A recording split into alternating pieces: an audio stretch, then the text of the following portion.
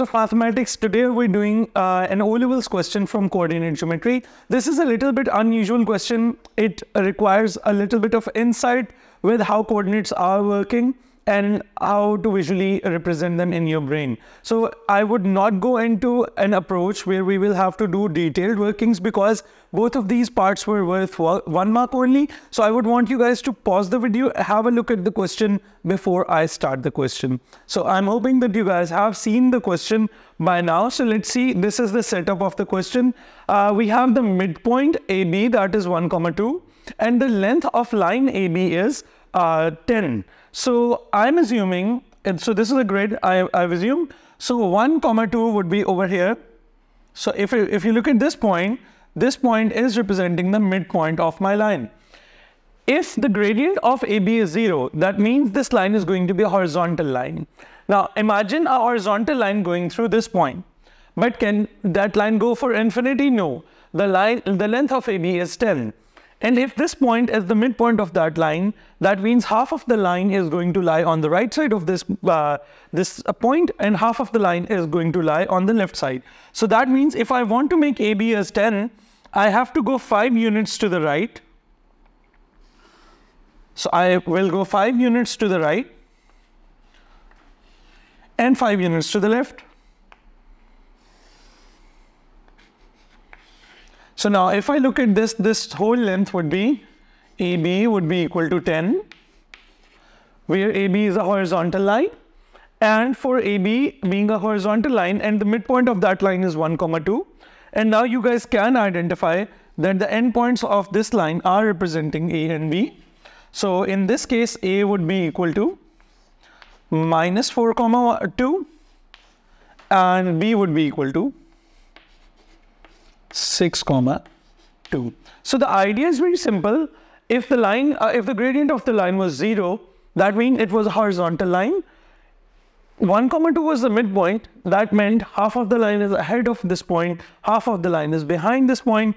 So m is 1 comma 2, 5 units to the front of this line and 5 units behind this line. So we were standing at 1. If I go 5 units ahead, I will be at 6 comma 2.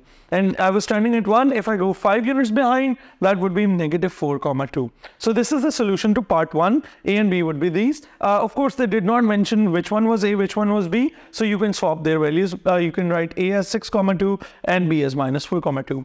The second portion is a little bit tricky um, as uh, we will see. You guys can see they have now given the gradient is 3 by 4.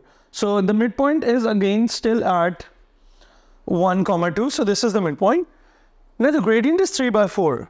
Uh, we have seen a formula for gradient when we were kids. That was rise over run. So that means rise is uh, rise means how much you have to go vertically and run means how much you have to go horizontally. And uh, the gradient is positive. That means I'm going to go this way positive gradients would go this way. So I'm looking at, I'm assuming a line which is going to go this way, but it's going to go in a way that we will have to go three units to the right. Sorry, four units to the right. Four units we're going to run and then rise five, uh, rise three units. So I'm starting at one. If I go four units to the right, I will come here on five, four units, I'm going to run four units, and then I'm going to rise three units. So I'm standing at 2. If I rise 3 units, I will come over here.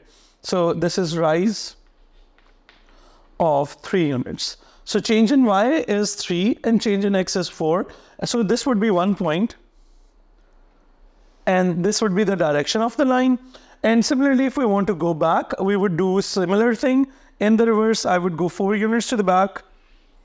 So 4 run and rise. Uh, so it would we're going backwards. So we would go three units down. We're starting at two. We'd go at minus one. So this would be the next point. Now we want to make sure that the length is 10. So you guys can see this is a Pythagoras theorem. This is 4, this is 3. If you apply Pythagoras theorem, you guys are going to find out that this length is going to become 5 units. And similarly, this length will similarly become 5 units as well. So we can see this length is now 10 units and the gradient of this line is 3 over 4. Now we can declare this point is, um, say this point is A. Uh, so I would write A as negative 1, negative 3 and negative 1. and b as 5 and we have gone, we were starting at 2, we went 3 up, so we'd be at 5. So these are the coordinates of A and B.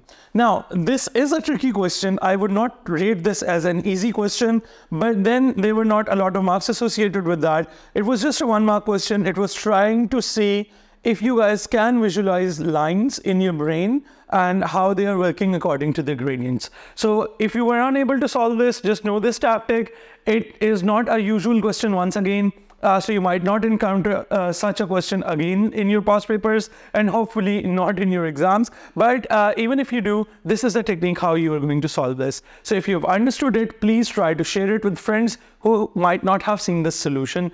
And if you have any confusions, any questions, you can leave a comment below in the comment section and I will see you in the next video. Take care. Goodbye.